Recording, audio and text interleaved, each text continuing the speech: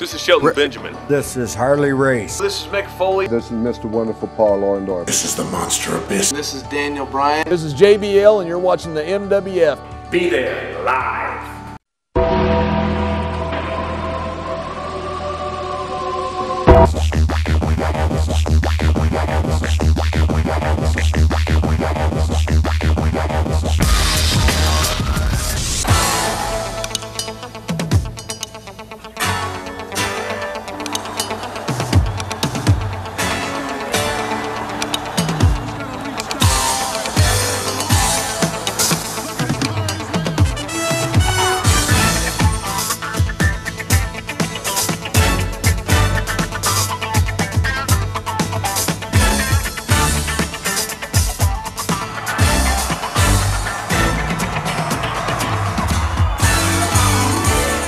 Wrestling fans, the countdown to the Cauliflower Alley Club continues. We've seen Vince McMahon, we've seen Lou Thesz. What about today? A huge uh, experience live and a great experience for fans at home, especially those that loved the WWWF. Captain Lou Albano receives his Cauliflower Alley Club Award with a few uh, adult spirits in him. Presented by the late Gorilla Monsoon and Pedro Morales. Johnny, it was a dream for me to be around these guys. Let me tell you, I, I did some shows with Captain Lou. What a great, great human being. And who can mm. ever forget the commentary and wrestling of Gorilla Monsoon and Bruno Sammartino, Boston Garden, when he slammed Monsoon and the ring collapsed. I mean, unbelievable. Uh, the, you just got it all. With these guys, you got it all. And Pedro Morales, I remember him uh, at the Boston Garden. Tony can tell you more because he was closer. But you know what? Pedro Morales, I don't know where he's gone, where he's at. I wish I could get him out. He could make some appearances. What a wonderful human being. Yeah, he lives in New Jersey. He's a But, great yeah, I- human I, being. I saw him, I, I would say maybe about 15 years ago. I went to a gym and he worked out. I can't remember the town, but I was there with uh, the Savoldi, and he, he, the gym I went to, he, he was there. He won't do appearances. Yeah. Any quick memories of Captain Lou, Tony? You worked with him an awful lot during your career in WWWF and into the 80s. Y'all had your dinner? I mean, y'all eating already? No. Okay, well, you better eat first. All right. Captain Lou Albano, guy you do in years ago, they called him blade jobs. Oh, yes. He cut his cheek one time with a razor blade and stuck his tongue through it. That's what made him such a memorable character. You know the phrase that he's famous for? I don't know if you read his book or not, and I still waiting for a copy of your book. But the um, the phrase that Albano was famous for was often imitated but never duplicated. Yeah. And I'll tell you what, there's nobody on this earth today or ever that can ever imitate the one, the great, the late Captain Lou Albano. He had he had more energy. oh, You're going to see it in a second. More, more energy, you know, and, and, he, and he was just a, a good guy. You know, Freddie Blassie and all them guys, they would sit in the dressing room and they would help you. And if you listen to them, you come out, you know, smelling like a rose. One of the greatest people, I don't know if y'all going to be talking about doing this show that I met when I first went to the uh, uh, WWE was uh, Chief Jay Strongbow.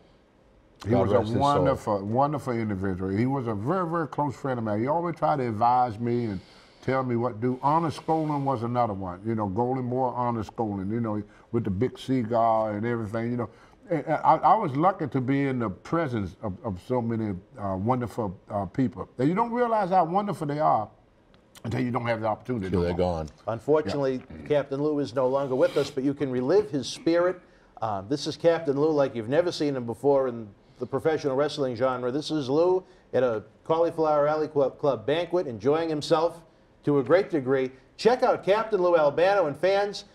The 50th Cauliflower Alley Club reunion in Las Vegas is sold out. I'm telling you, get ready for the 51st. Become a member. It's a great nonprofit organization that helps out the greats in this sport with medical expenses. Sometimes we pay for funerals. Yeah. It's a great fraternity experience. Check out Captain Lou now. Check out caulifloweralleyclub.org. again is a man that has done everything in wrestling. He's a wrestler, he's been a manager, probably the most famous, exciting manager in professional wrestling. When he gets out there and talks, you if you don't, you're in trouble. He's never been accused of being quiet or being lost words. But in order to get the presentation going, we need to have the new president of the WWF, Rilla Monsoon, and Pedro Morales. Gorilla and Pedro Morales will come up here. They- I'm sure these can tell us some things about this next man that you all are going to want to hear. Because there's got to be a lot of things to know about this guy. Let's have the one only Mr. Lou Arnold, the captain himself, please.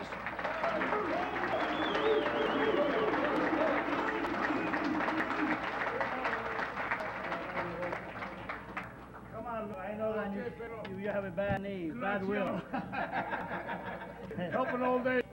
It's a pleasure to be with Albano, with all beautiful people, and, and uh, I be around Albano about 35 for a year. Uh, yes, and believe me, always keep us uh, laughing, and uh, Pat Patterson know that. yes, and uh, it's a pleasure to be with Albano, and I hope that God keep him healthy and good looking. Your make it. Okay.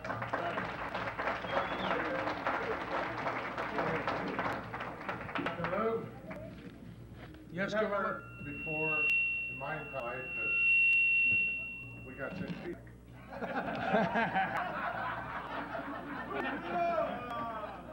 I've known you for more years than I care to remember. About 40. About 40. Uh, Lou Albano is one of the stalwarts of business, always has been, always will be, ready with a helping hand to anybody that needed it, you needed it or not. He was there for you. Lou Albano, family man, a real man, a man's man. Times Lou is, is funny and hilarious and wants to be the center of attraction, and he is. But that's Lou Albano. Sometimes a pain in the ass, but Well, Lou Albano, to me, is a, someone I'll never forget in my entire life. Uh, some of the things he's done over the years, especially inside the ring, which I really don't care to go into this particular gathering. Uh, I think I had the, some of my greatest matches with Lou, he would or not, most of the time he didn't. Doesn't even remember being in the ring with me. are you saying that I participated in a few uh, alcoholic beverages? You sort of resemble that remark. But in all, in all seriousness, it's, it's great that an organization such as this, with such esteemed and such tremendous people that gathered here this evening, possibly the greatest intelligent minds in the wrestling business, are located in this room this evening to honor someone like Captain Lou Albano, who undoubtedly deserves it. Captain Lou.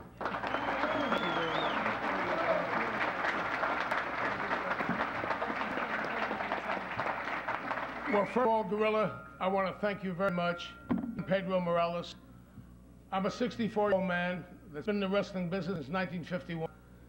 And I want to, first of all, Pat Patterson, uh, Bruce, Louie, uh, all you fellas at the table from the WWF, along with Gorilla Monsoon and Pedro Morales, who was truly a legend in wrestling, was a world champion, I believe, four or five years, Pedro. Okay? But then I want to get back to the real nitty-gritty. I want to talk about the, you are a legend, Pedro, and don't let me over your head. But I want to talk about people like legendary, the man that made wrestling, I believe it is today, a man that'll go down in the annals of history. I should say men. But first of all, let's talk about Lou Thesz.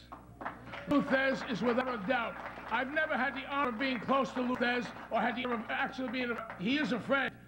Maybe let's call it uh, transubstantial affiliation, whatever you want to call it, I'll make it up. But I want to tell you, I, through the years, I've always admired Lou Thesz as a man's man. Man that could stand up tall and bring wrestling well, today it's not bad, but it's not the class of what I feel wrestling should be like years ago, okay? Let's put it that way. Who gets insulted or not. Then you're talking about a guy, Lou, a guy like Freddie Blassie, all right? Freddie Blassie, legend in his own time. I managed Freddie. I managed Freddie Blassie when Freddie Blassie was 34 or 35 years old, still sold out all the place. They still went into Madison Square Garden and had turnaway outs. And then you got people like a guy sitting there with a, don't like people with beards, Red Bastien. Now, Red is my age. Red Bastien is one of the finest wrestling legends of all time. He's a club wrestler. He had poise. He had wrestling charisma. Red had it all together. Look at my manager sitting there, Barry Geiger. You're laughing at you. Little Jewish kids are all alike. Looking for the buck, huh? All right, let's talk about okay, Tony Cosenza. Tony Cosenza is a man that nobody could beat in the arm wrestling cut. Back in the old days with Mike Zerky and so forth, you Tony Cosenza, forget about it. Then you got a man, said a 90-year-old Let me tell you something about A.B. Coleman. A.B. Coleman, without a doubt, again, Lou Thesz, with Freddie Blassie, with Tony Costanza, these are what I call the legends of all time. Do I put you in that class? And Pedro, right a little bit below that because these are a little above your head. Now we'll talk about, all right, all right, all right. Dominic DeNucci here. Them little bitty kids are all alike, but he's not a bad guy. You got Davey O'Hannon. Dave O'Hannon, the guy's good for about 400 grand a year with the longshoreman, you know, whatever he does. Newspapers, Playboy, House, in the back. Look, Larry Sharpe left. Said, I don't need to, I got my own organization. The hell with the WWF and the CW. All right? got a friend of mine, Mark Lewin, uh, years ago wrestled. Mark was an okay guy. I'm not knocking him either way, but his brother Teddy, a true legend. Teddy's an artist. He does children's comic books. He's a great, great guy and great friend. Lewin, God bless you. We love you. All right? Now, if there's anybody out there that needs chiropractic I happen to be, by the way, forget chiropractic. I happen to be a gynecologist and psychiatrist. I won't dance. And I tell my patients to open up. I want to talk about, a minute. I want to talk about Billy Darnell. Billy Darnell was a chiropractor. Man is a legend. Billy, where are you? Here he is. Billy and Buddy Rogers had some of the class matches of all time. These guys were great. I want to shoot off a minute here. Now, wait a minute. We got in the back named Paulie Dangerously. Paulie Happy, when the Grand Wizard Freddie Blassie and myself were just Paulie's real name, I'm going to tell you right now, it's off Paul Heyman from Scarsdale, North. There he is in the back, sitting back. That's Paulie Dangerously. So, Paulie, God bless you. Good man. You're doing a good job with your organization. All right, let's talk about what else we got here. Any of you notes, you got my friend Jim Kettner in the back, my manager Barry Geiger. We mentioned Bruce. We mentioned A.B. Coleman. Who the hell else we get over here? Now, let me now I got, we're talking about boxing. Lou Duvich knows my cousin. In fact, him and my mom were cousins. When you talk about boxes, when you talk about one tough, I'm going to use words, I you, you people before, one tough son of a bitch, you're talking to Chuck Wepner. My damn Chuck Wepner, on my best day, that have his hands tied and his feet tied, and I still wouldn't mess with him. He is one tough son of a gun. And then I got my friend sick there who's gonna, naturally gonna give me a little push in the magazine. Uh, Bert Sugar, Bert Randolph Sugar. You got all greats. But seriously, on a serious note, I thank all you people for participating. Great organization. Thank all you people for being here. And I want to thank professional wrestling for giving a life that I have today at 64 years old. Thank God I'm not a billionaire or a millionaire, but I can manage, I can get along because of professional wrestling. And it's given me a wonderful wife for 43 years, Jerry. My family, four kids, 10 grandchildren, one way. Thanks to professional wrestling, it's helped me in my career. Uh, a Mickey Mouse actor. I'm no Laurence Olivier. I do a little bit parts. And once again, I've got like Lou Thesz, Freddie Blassie, A.B. Clint, Angelo Savoldi laying in the back. I didn't get you, Angelo. Thank you. Hey, I'm not gonna forget Rodz. I was saving for that. Will you shut up? I knew his name Johnny Rodz. His name is Johnny Rodriguez. Well, Johnny Rodz bald-headed thing like a place. We'll put a condom over and he can go as a... Excuse me, let's forget that. I want to tell you all, I want to thank you again, Lou. God bless you. Keep the good work as the president. You people are great. We love. I feel so good, so proud, so fine, and so elated to be here. Woo! I'm Captain...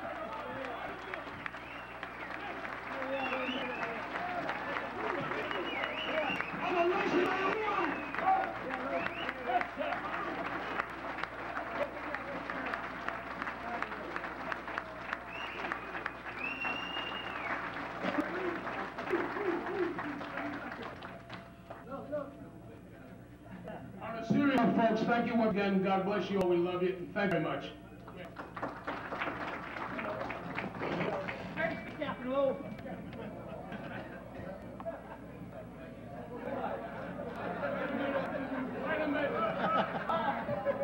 I don't want to forget my good friend Arnold Skaaland. This bitch is looking at me He said, you forgot me, I'm the the end. And then he said, look at the donuts, and you didn't thank him. Thank you, Arnold Skaaland. Okay. Believe it or not, Lou is known as the most shy, bashful, and humble individual professional wrestling.